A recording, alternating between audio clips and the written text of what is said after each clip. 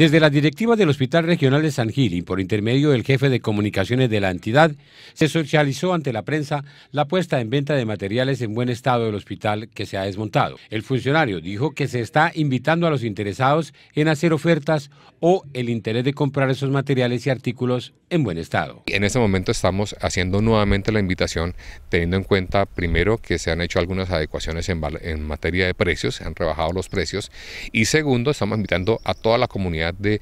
esta zona para que aquellas personas que estén interesadas en adquirir estos elementos que son muy interesantes para el que maneja construcción, para el que maneja ornamentación, para el que maneja obras, pues puedan acceder a ellos de una manera muy económica de acuerdo a los requisitos de ley. Respecto al tipo de materiales que se ofertan, se encuentran los siguientes pueden encontrar viguetas en madera, puertas en vidrio templado, eh, ventanas, rejas, eh, tejas, eh, puertas completas,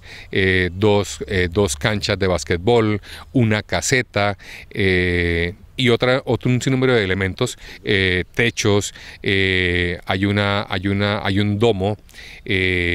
aparte de eso hay un, un gran número de em, unidades sanitarias todo en muy buen estado. Para este 31 de octubre a las 2 y 30 de la tarde es la convocatoria para explicar cómo es la dinámica de la venta de estos elementos eh, de una manera muy didáctica para que maestros de obra, arquitectos, personas en, eh, en general puedan venir y conocer cómo es el proceso de venta de estos elementos. A las dos y media el 31 de octubre.